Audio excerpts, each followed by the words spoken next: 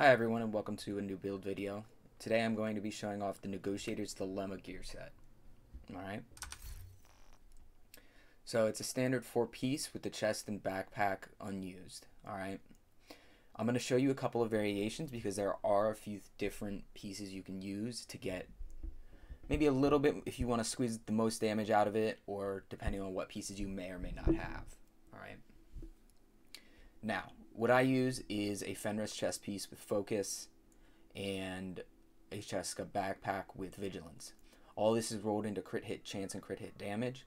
All of my negotiators pieces are crit hit damage, with the exception of my knee pads, which are crit chance just to hit that 58%, which is close enough to the threshold. Alright, now all my mods, crit damage, and crit damage. Alright. You can substitute out this Fenris chest plate for a pristine example. If I am not mistaken, this will do a very small fraction bit more damage.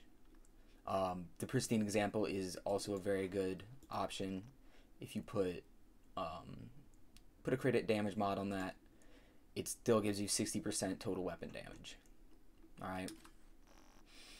The other option I've seen people do is because you still use so you'll still be using an eight times scope with this. Um, but I've seen people use the sacrifice and then that allows you to use the gift so you can make up for that extra basically instead of getting that extra weapon damage you get a little bit of headshot damage and some still get the crit chance to hit that threshold um, let's see, where is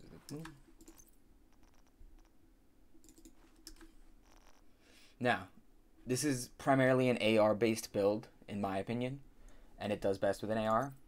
If you're looking for something fast, I would go with the FAMAS 2010. I use the Omega Rifle 5556 suppressor uh, just to get that extra stability. You need an 8 times or higher scope to activate focus. And then I just have a 5% crit chance laser with the 20 round mag. Another great option is the Carbine 7 if you have one of those. A Police M4 works wonderfully. Um, the G36 is a great one. Um, I prefer the FAMAS and the Carbine 7. The Carbine for a little bit longer range or when I need a little bit more sustained damage but the FAMAS is great for burst damage. Now, as I talked about in my previous build video on snipers and why you should scope, or why you should snipe unscoped, I'm going to show you why this build works, even though it limits your field of view with an AR with a scope. Alright.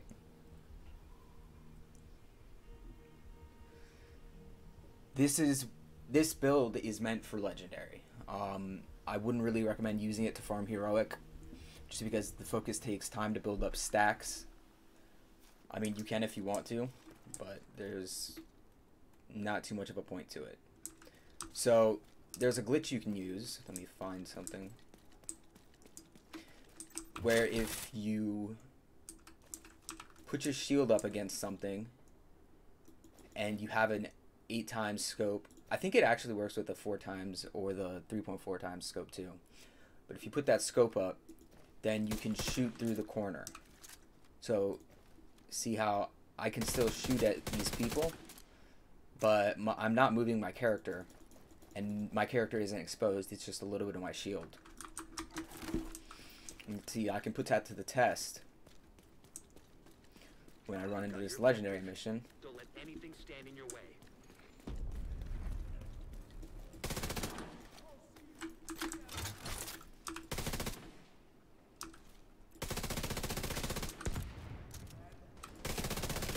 See how they're hitting my shield, but they're not doing any damage to me.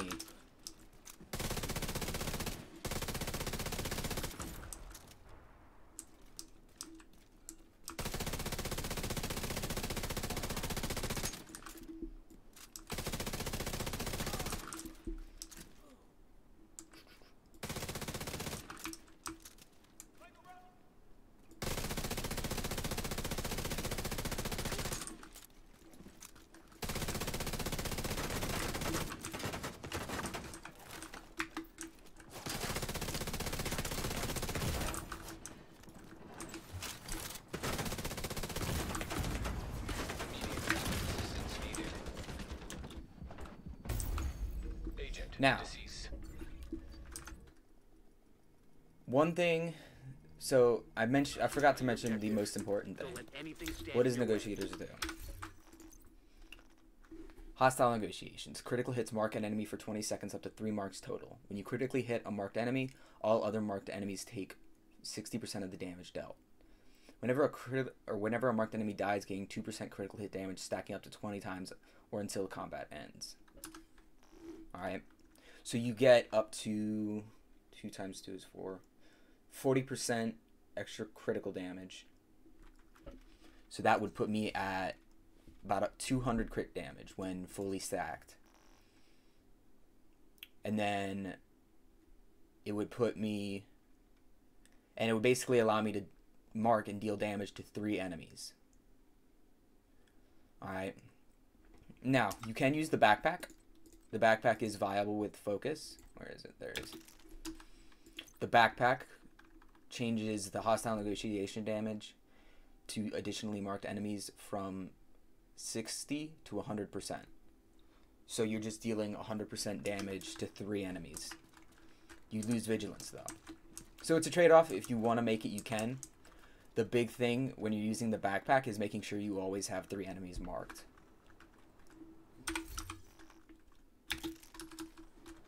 I prefer the vigilance, but you try both out. See what works for you.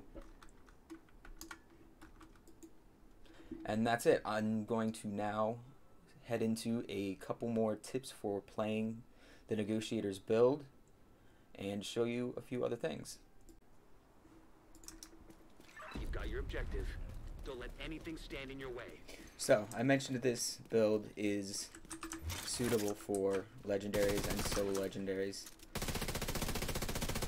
Might as well show you some gameplay of that, so here goes.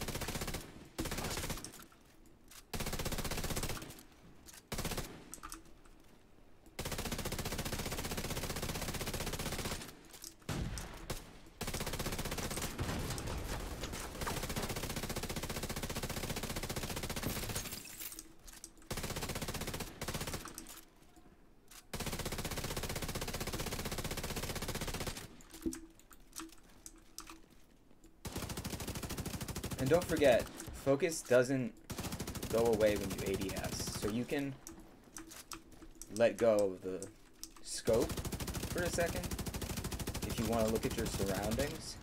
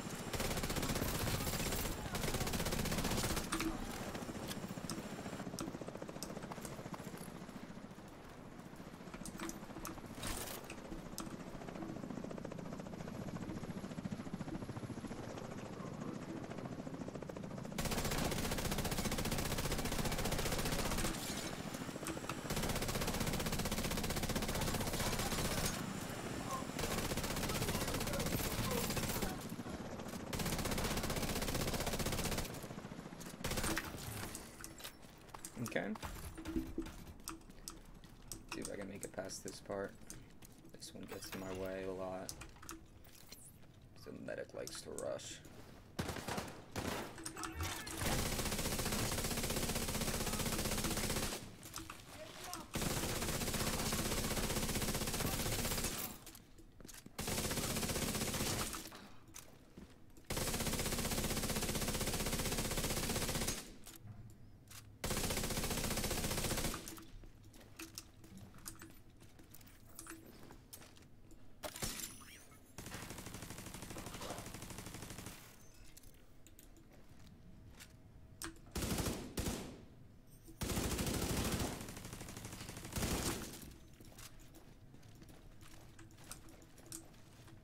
See if I can push up to here.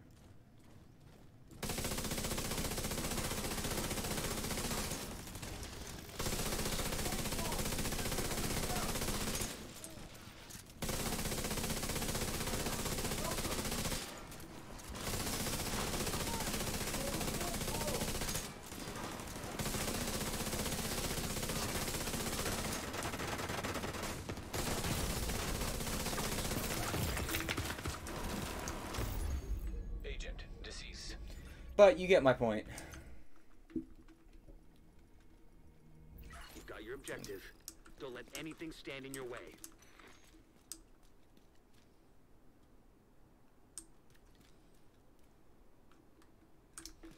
Just, I'll do three, just to show you that wasn't a fluke.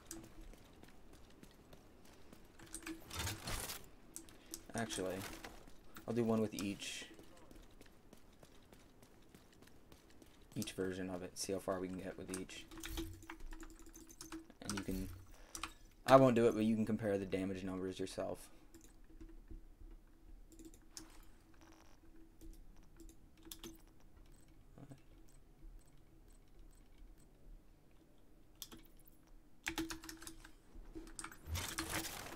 You've got your objective. Don't let anything stand in your way.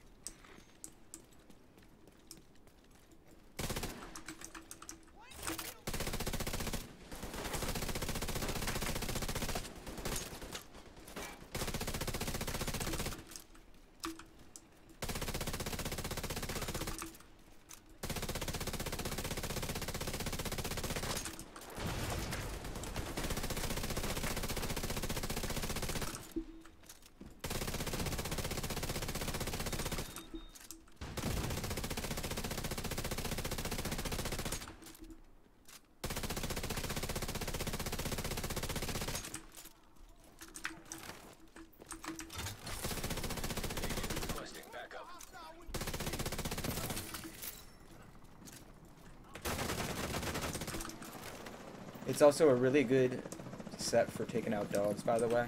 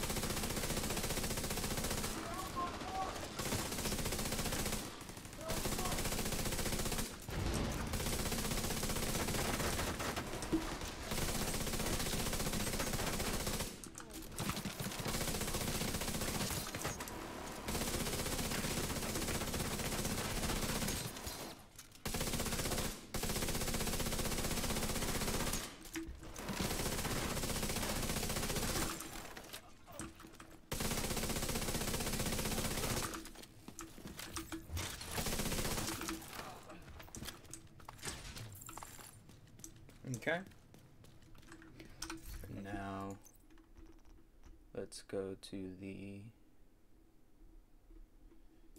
sacrifice.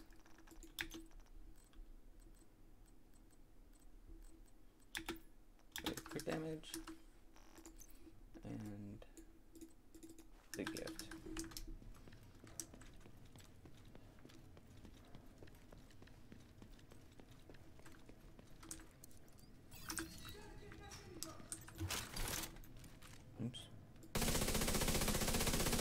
So the advantage to this is you don't need to let your focus stacks build up. But it's hitting, as you can see, the body shots are hitting less. It looks like. But the headshots are hitting pretty high. So if I can consistently hit headshots, then might be a good option. Immediate medical assistance needed.